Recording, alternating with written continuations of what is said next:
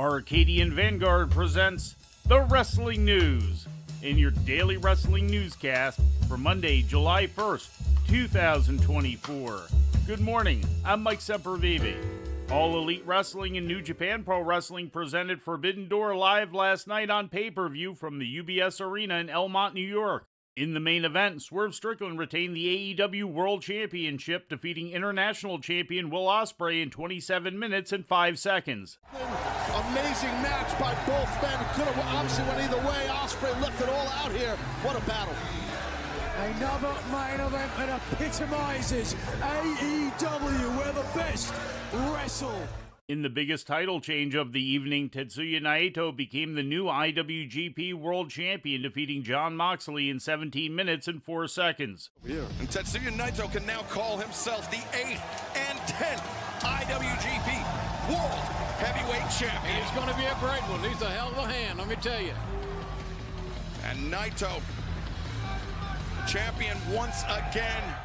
The loss ended Moxley's reign at 79 days and marked the first time that a Japanese born wrestler has won the IWGP title outside of Japan. Mercedes Moné also became the new NJPW Strong Women's Champion, defeating Stephanie Vaquer in 16 minutes and 51 seconds. Moné also retained her TBS championship. Following her win, Moné was confronted by Britt Baker, who appeared on the entrance ramp. Jack Perry captured the vacant TNT championship, winning a six man ladder match against Mark Briscoe, El Phantasmo, Dante Martin, Konosuke Takeshita, and Lio Rush in 16 minutes and 56 seconds. Toni Storm made the sixth successful defense of the AEW World Women's title, turning back the challenge of Mina Shirakawa in 11 minutes and 42 seconds. In a quarterfinal match for the Owen Hart Cup tournament, Bryan Danielson defeated Shingo Takagi. In six man tag team action, Hook, Katsuyori Shibata, and Samoa Joe beat Chris Jericho, Big Bill, and Jeff Cobb. Also, the Young Bucks and Kazuchika Okada beat Hiroshi Tanahashi in the acclaimed. In other results, Zack Sabre Jr. defeated Orange Cassidy by submission, and MJF pinned Hechicero in the opener. Earlier in the evening on the Forbidden Door pre show, Mariah May defeated Saraya in an Owen Hart Cup tournament quarterfinal match. In a four way tag team match, Brody King and Malakai Black were victorious against Gabe Kidd and Roderick Strong, Kyle O'Reilly and Tomohiro Ishii in Private Party. In six man tag team action, Mistico teamed with the Lucha Brothers to upend Hiromu Takahashi, Titan, and Yota Tsuji. In other pre show results, Tam Nakano and Willow Nightingale beat Kris Statlander and Momo Watanabe, and Kyle Fletcher topped Serpentico.